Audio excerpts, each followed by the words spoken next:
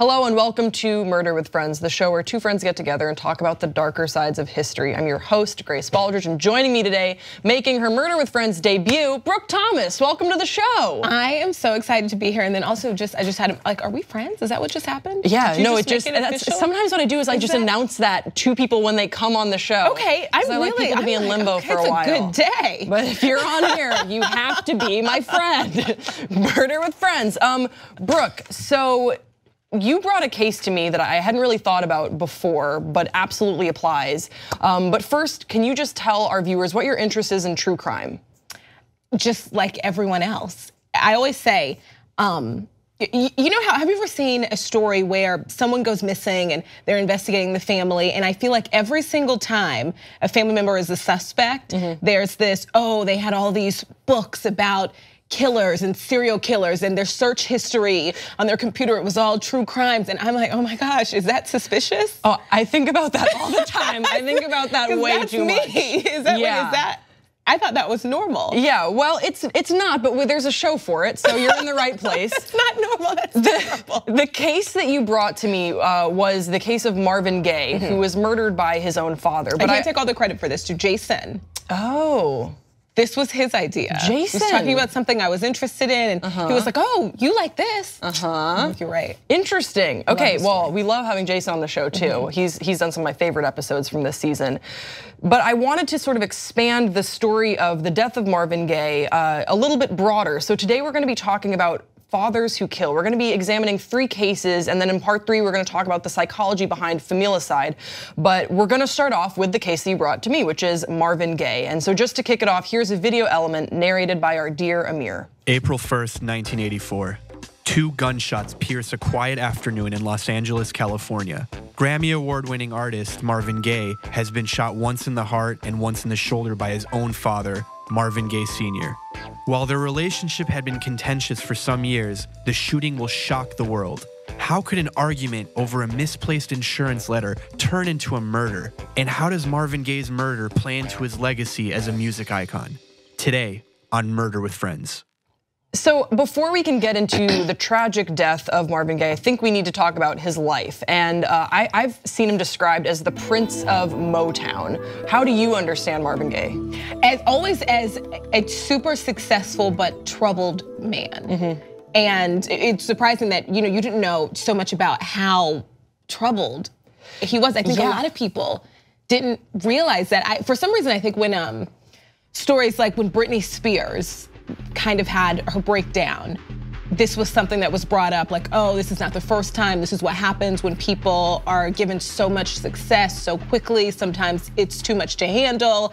And he was struggling with drugs. Yeah. Family issues, relationship issues. Well, also, I mean, uh, tax evasion. Like I, what I was reading in Marvin Gaye's biography, I had no idea how much he really moved around to try and evade the IRS because there was so many issues with how he was uh, paying his taxes. And uh, at one point in time, he, uh, I don't want to say fled, but -huh. he sort of went to Belgium, which is uh, where I'm from, so I thought that was kind of cool, and they said that he had a really nice time there. Um, but he was moving around. He was a troubled person. It wasn't yeah. just like he created this, you know, this style of music. I, I, saw that he was credited for basically creating neo soul, which I, which makes sense, but I hadn't really thought about that yeah, before. He was sort of like the the grandfather of neo soul. Um, Someone who battled depression. Yeah. Well, and and, and suicide. Mm -hmm. I had no idea that you think of Marvin Gaye's music, it, it stirs up a feeling. It really does. For sure. And that feeling is not depressed. That feeling is not dark. It's certainly not suicidal. And so to hear that actually uh, people in his life were very well aware of the struggles that he was going through was pretty shocking to me, but I think it sort of goes to show how we color history in a certain way. Oh, you know what I mean? Like, right, and, yeah. and, how we just look back with rose-colored glasses and we exclude the parts that aren't really convenient to someone's story or our understanding of an icon. But I think it all plays into Marvin's story, and it's really important to talk about. You think smooth and sexual, kind of ladies' man, and confident, not depression and intense paranoia. Well, the paranoia was something that was really striking to me to hear different accounts of. I mean, that's really heartbreaking when you Mm-hmm. know that someone is technically fine, like in their immediate surroundings, but the, the fear um, and part of that was, you know, stemmed from uh, mental illness, and then also some of that was he had a crazy cocaine addiction, Mm-hmm. um, and he was able to, you know, to pay for it because at one point in time he was earning hundred thousand dollars a night, so an insane amount of money, and uh, the the people that were surrounding him some of them are pretty questionable, and some of them, like his own father, had a very contentious relationship with him. So that now comes into play.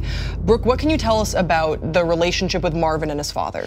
It seemed like a relationship where there was a constant battle since childhood. Depending on who you talk to, depending on what interview you're watching, um, there was something we were talking about earlier. How um, many people, I saw multiple people say that the rumors were that it was an open secret that his father was a crossdresser, mm-hmm. and that Marvin hated that and hated that as a child, and that was kind of part of the beginning of some of their issues. And then it, it just seemed like a very verbally abusive relationship from the beginning before the fame started before the drugs started before um, the mental issues were identified Yeah. it didn't seem like anyone is describing a healthy relationship between father and son Even f- further than that, I, the, the, the cross dressing was something I had never heard of before. Neither. And I also didn't know why Marvin Gaye added the E to the end of his name, was in part because of the teasing that uh, he said he endured because of his father's cross dressing. And then just to add another layer on top of that, um, Marvin Gaye's father, so Marvin Gaye Sr., was a minister, was a prominent minister in the community. Um, I, I wasn't able to find any of his sermons or any transcripts of that, but I ostensibly you can think about what you hear in church, which is all about family values and traditional family values and whatever that means in a biblical sense, and that is a whole nother conversation with me. Um, But we're talking about, you know, this is like the 1970s, uh, 1980s, 1982 is when Sexual Healing came out, but he had a, a string of hits in the 1970s as well. This is a very regressive time when it comes to like exploring one's sexual identity. So while it's easy for us to say, probably in the comment section below, cross-dressing, like I don't know why that's that big of a Right. deal. Why would someone be so rampantly teased by that? It's obviously something that Marvin really internalized. And on, on top of just a number of other family dynamics at play, Marvin and his father had a very strained relationship. And it only became more strained as Marvin uh, got further into addiction, as money problems were coming up, and as, as Marvin seemed to really sink deeper and deeper into the, the black hole that is mental illness. It's incredibly heartbreaking. So this brings us to the night that he was shot. And something that's kind of eerie is that he was born April 2nd, 1939, and he would be shot on April 1st. So just a day before his birthday. 45th birthday is Yeah, yeah, 1984, which is like, that's so weird. so young So young. It's so young. So, what do you know about the circumstances surrounding the the, the night of the shooting? that there Well, were the afternoon of the shooting.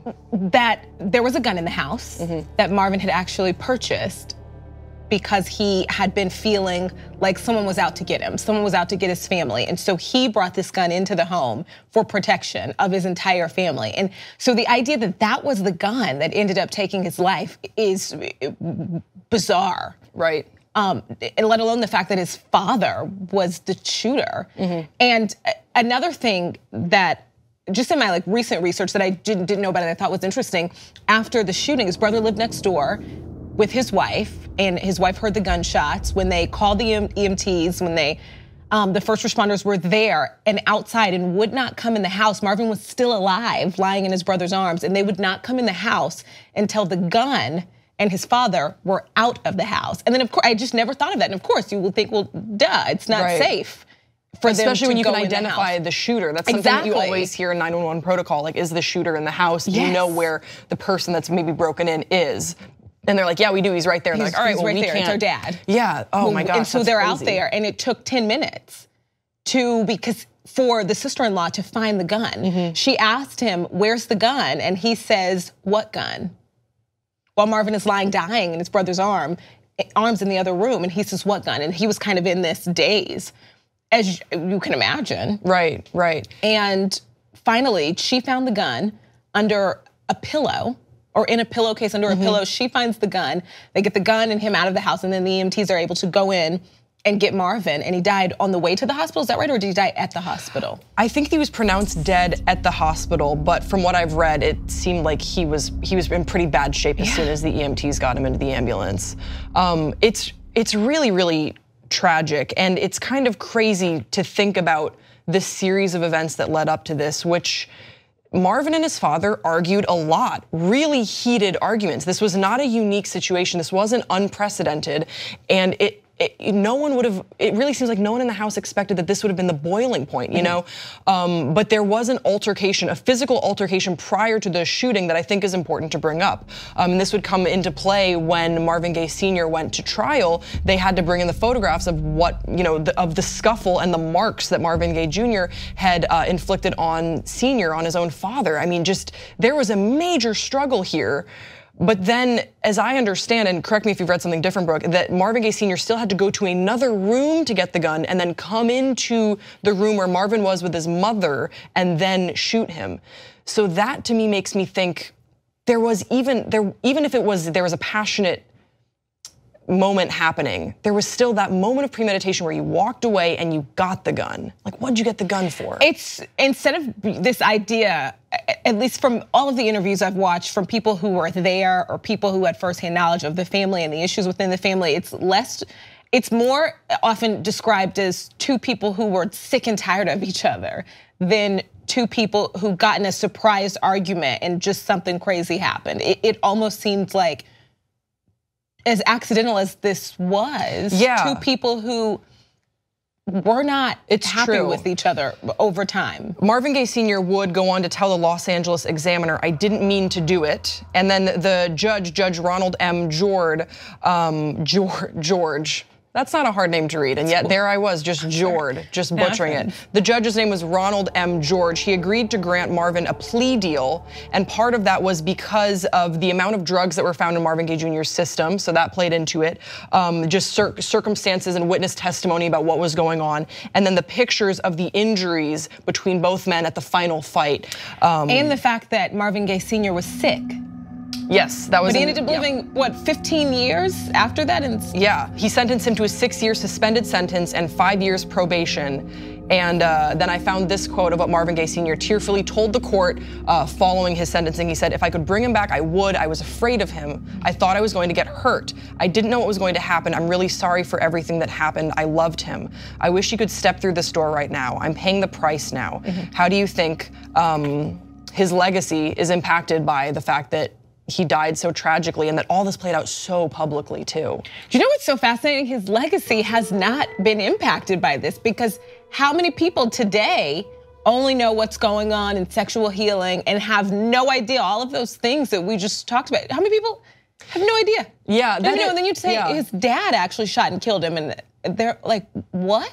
Mm-hmm. I think that's fascinating that it hasn't been impacted. Yeah, and it, it, again sort of goes to see how we color the stories of certain individuals. Mm-hmm. And part of me um, feels sort of uh, grateful that we've done that because th- it seems like there was a lot of pain and there was a lot of hurt behind closed doors, a lot of secrecy in this family, and a lot of violence and abuse. Mm-hmm. And the music has has endured, and the music that is so timeless that you know comes on uh, like whenever it comes on, you you have this sort of like sense of acknowledgement around like a Target or something with someone where you're like, oh, we all everybody loves this song, like everybody loves Marvin Gaye, and I think that that is fortunate, and that he hasn't his reputation and his legacy hasn't been marred by this really tragic ending. That while I go back and forth, I'm like, what did you think you were doing when you got the gun, yeah, senior? You know what? I, I go back and forth on the premeditation, but I don't think, especially given the other cases we're going to be talking about today, it fits into that category mm-hmm. of familicide of a father who like premeditated, cold-hearted, bloodlust almost for killing their loved ones. And can you imagine just what you just said, the quote you just read? I was terrified of. I was afraid of him. And so in that moment, the father is afraid of the son. Mm-hmm. And also in that moment, the son is afraid of everyone. Yeah, the paranoia. Eh, eh, what else could have possibly happened?